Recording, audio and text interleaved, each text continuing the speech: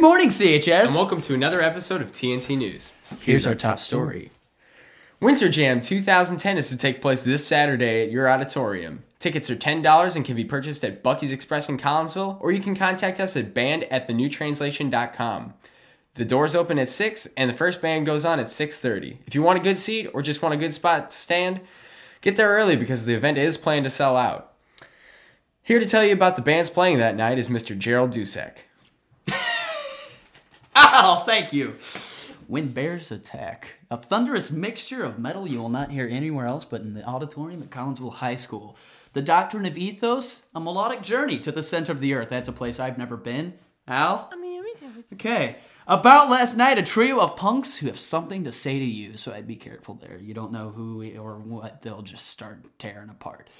Building Rome, a great band whose name explains it all. I don't have to say anything else, you guys understand. Copperview, a band of brothers whose resume includes some of the biggest names in Hollywood.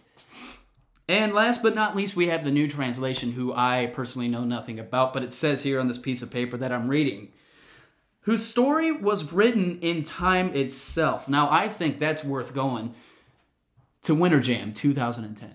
For everyone here at TNT News, Stay safe, and we'll see you Saturday night.